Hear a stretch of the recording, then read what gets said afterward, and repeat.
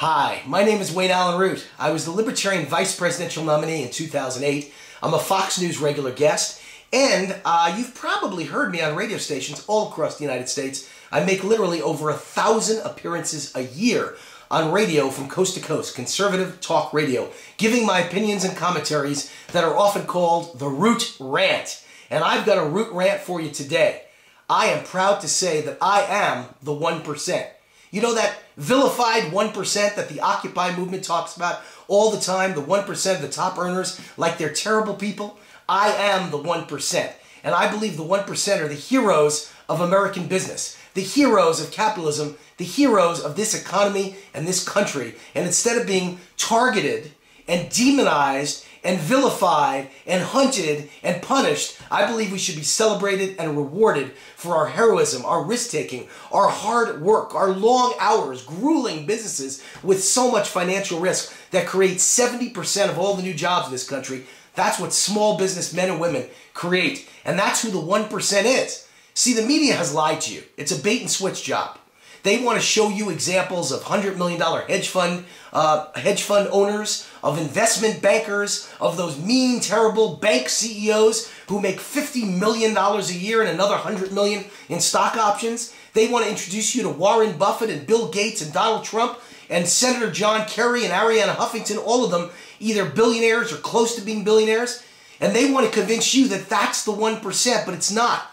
Those are the teeny, teeny, teeny tip of the top of the 1%. But the reality is 99% of the 1% that Occupy movement talks about are small business owners like me, entrepreneurs who risk our own money, work long hours, and create jobs. That's who the real 1% is. Now, when you talk about Bill Gates, you know, that's a spoiled brat lucky sperm club member. That's not the 1%. The day Bill Gates was born, were you aware that his grandfather was the founder and owner of the biggest bank in the Pacific Northwest? How about Donald Trump? Are you aware the day he was born, his father was already the equivalent today of a billionaire, the biggest landlord in the entire New York area? In Brooklyn, Bronx, and Queens, he owned the most apartment buildings of anyone? Are you aware that Warren Buffett's father was a well-connected congressman?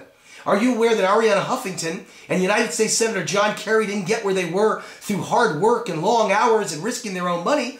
They married into wealth. That's not the 1%, and that's not the narrative that you want to be hearing about the 1%. Most of them are small business people, and the way we achieved our quote unquote overnight success is after 25 years of long hours and hard work and uh, financial risk. After 25 years of that, we became successful overnight because that's when you first heard about us. But it took that kind of a foundation.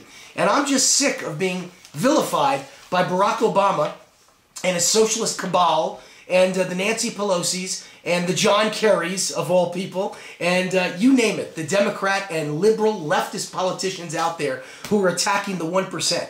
I've spent my entire life working not only 16 hour days, but mornings, nights, weekends, birthdays, anniversaries, you name it. During the World Series, during the Super Bowl, I'm working. I'm writing my political commentaries. I'm appearing in the media. Uh, I'm performing one of my duties running about a dozen businesses that I own and careers that, uh, that are part of my life. And so I don't own a yacht.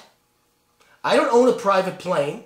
I'm not worth $100 million. I have no offshore bank accounts. That's the real 1%.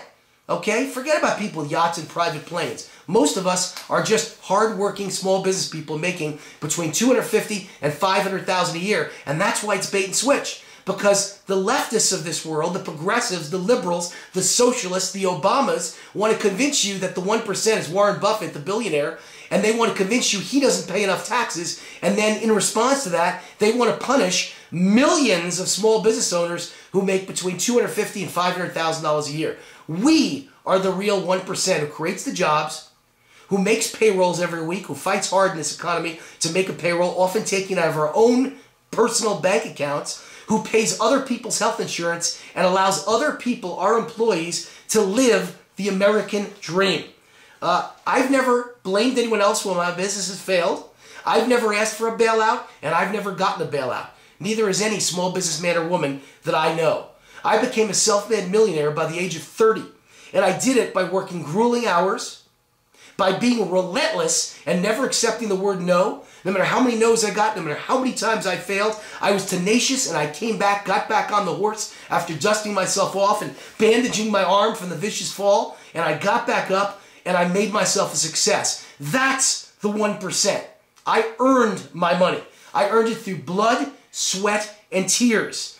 I rarely, if ever, watch TV. I work 16 hours a day. And I rarely, if ever, get to enjoy my kids' sporting events or their ballet or their piano recitals.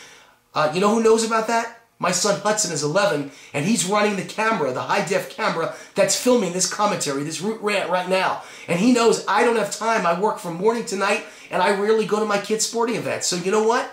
I think I've earned that money because I care that much about building a legacy for my children, not for the government, not for people who have their hand out, not for entitlement addicts and welfare addicts, but for my kids and I love so much, I work my fingers to the bone and I spill my blood, sweat, and tears. And you know what? I live on a beautiful world-class golf course here in Las Vegas, Nevada. And you know how many times I've played golf in the last 10 years?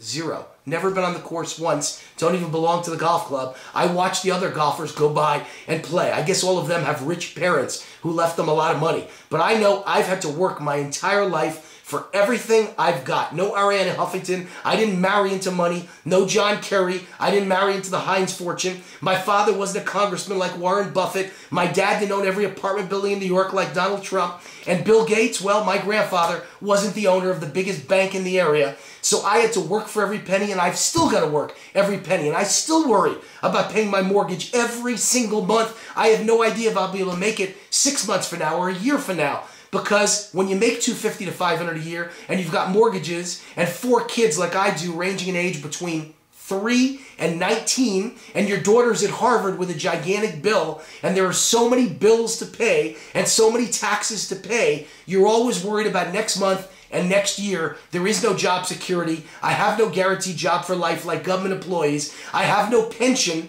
the day I turn 50 years old. As a matter of fact, to pay all those government employee pensions and all those taxes and all their free health care for life, I will never retire. I will work till the day I die and I will work my fingers to the bone to leave that legacy for my kids. So when my dad came to me as a kid and he said, the way to make it you got to trust me, son. If you never want to be a butcher like me, and I don't want you to be one, I don't want you to wear this bloody apron and go to work at 3 in the morning uh, buying meat in a freezing icebox and bring it back to your store and breaking your back. Well, then you got to study hard. You got to outwork, out hustle, and outsmart all the other kids, and you got to wind up at an Ivy League university called Columbia University. That was the only one he knew because it was near our home in New York. And I listened to my father, and when other kids were out partying, I wasn't at those parties. I was studying. And I graduated valedictorian in my high school. And I went to Columbia and graduated Dean's List at Columbia University. And then when I got out of Columbia, I listened to my father again. Because I knew he'd been right about Columbia. And I knew he'd been right about outworking and not staying out past midnight. And not being at those parties, but instead studying while others were out. And not drinking and not doing drugs. And I listened, and he was right. And so I listened again. He said, now that you're out of college, you want to be an entrepreneur. The American dream is earned by those willing to break their backs and work day and night, but not for other people, for themselves. You want to be your own boss. You want to open your own business. You want to work day and night, save your money, and then use it to open your own business. And then if you work day and night, instead of doing it for someone else, you do it for your family, you build a legacy, you build a fortune, and you become a self made millionaire. And I listen to my father, and I've worked 16 hour days my whole life. I've never played golf, never done drugs, never been drunk, take care of my family. And I'll tell you what, I risked my own money on business after business after business, and I've made it in this country. Today, I'm a journalist, I'm a commentator, I'm on radio stations all over this country, Fox News. I'm a former vice presidential nominee. I'm a Las Vegas odds maker, the only one in the world who worked so hard and was so successful, I was awarded my own star by the governor of this state, my own granite 180 pound star in the sidewalk of Las Vegas on the Las Vegas Walk of Stars. I'm a spokesman for multiple businesses. I'm an economist and senior economic advisor for a major global financial services company. And, as I've said, a former vice presidential nominee. As Don King would say, only in America. What a great country. The sky's the limit anything that you can conceive, you can achieve in this country if you're willing to work hard and risk your own money. But my question to you is Does the media tell you stories like this about the 1%? That we came from humble beginnings, that we started with nothing, that we asked for nothing, that we failed and we blame no one, that when we failed we didn't ask for bailouts, that we put in 16 hour days, that we work like dogs and like cornered wolverines day and night, 24 hours a day, 365 days a year, that we know no weekends, we know no holidays, we don't know anything about evenings or mornings being time off, that we've sacrificed our whole life, that we're disciplined, that we care this much for our children. Do you hear that from the media? Or do you only hear about Bill Gates and Warren Buffett and Donald Trump and Arianna Huffington? So from now on, what I'd like you to think of is the 1% is small businessmen and women like me who came from nothing and earned our success. Don't be fooled by the media. We don't deserve to be vilified or targeted or demonized or punished we need to be celebrated as the heroes of the business world, and we need to be rewarded. That, ladies and gentlemen, is the story of the real 1%. God bless you.